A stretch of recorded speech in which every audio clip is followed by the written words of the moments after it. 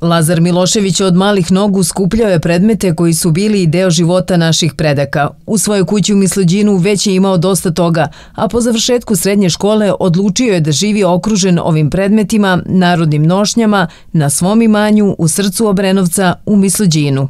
Prepoznao sam da ono što ja imam u svojoj kući i u dvorištu i mi u selima, da se o tome uči u školama i da deca apsolutno ne, ne znaju o tome ništa. I onda sam bio onako ponosan na sebe što sam deo te tradicije i kulture i što još uvek živi sve to kod nas.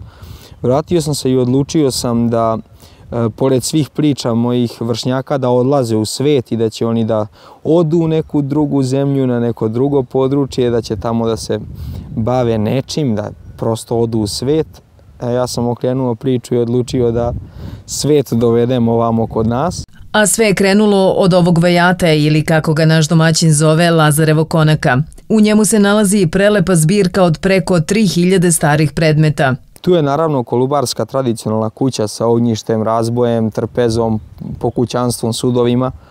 Tu je jedna pinterska kolarska radionica, tu je i opančarski alati, molerski, kovački, tu imamo i poljoprivrednog alata, ali tu imamo i jednu preslatku kuhinjicu iz posleratnog perioda sa dolaskom elektrifikacije u ova naša sela posle drugog svetskog rata i to je onako što najviše i privuče ljude jer ih vraća u to neko, neko detinstvo i one neke bezbrižne dane kod, kod naših starih. I naravno tu je jedan mlekar, predstava mlekara gde se, gde se obavljala prerada belog mrsa, Ovaj mladi čovek nije gubio vreme, već je na svom imanju sazidao i nove objekte. U jednom od njih nalazi se soba u kojoj čuva svoju kolekciju nošnji. Ona je iz godine u godinu sve bogatija. Ugledao sam neke nove nošnje i komade koje sam poželeo u svojoj zbirci, dugo sam tragao za njima, dugo sam kompletirao te komplete, međutim sve, sve je uspelo da se, da se smesti u ovaj moj kutak onako kako treba. Poslednje je stigla ova lička kapa koja je izuzetno stara, dobio sam od je, mojih rođaka koje jako volim, oni su me se setili i doneli su je i sada se pripremamo za jedan komplet muške nošnje iz like koji će krasiti ovo zdanje. Tu su nošnje koje sam dobio od mojih prijatelja iz Republike Srpske i iz Bosne i Hercegovine. To je srpska nošnja iz Sarajevskog polja, tu je i nošnja iz Kreševa, takođe iz okoline Sarajeva, a u sredini vidimo jednu nošnju iz Velike Hoče iz Orahovca, koja je rađena 1909. godine na koju sam takođe preponosan. Na sve sam ponosan, ne mogu ništa da izdvojim da mi je više drago od nečeg drugog. Ovu sobu sa posebnom pažnjom je uređivao. Ima 27 kompleta nošnji i još toliko je spakovano u ormanima.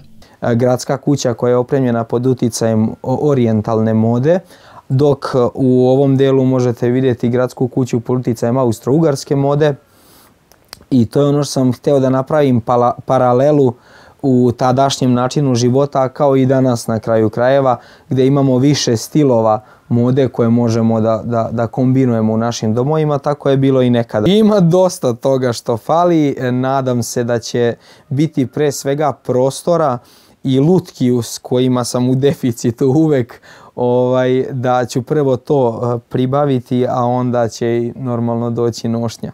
I to nije sve. Lazar ima i mnogo ozbiljnije planove za budućnost. On želi da se bavi turizmom, a u svom etnom selu već ima prostor u kom bi gosti mogli da borave. Idemo ka tome, u procesu smo ovaj registracije svega toga i, i reklamiranja svega toga, ali naravno i izgradnje mnogih drugih zanimljivosti koje će biti ovde.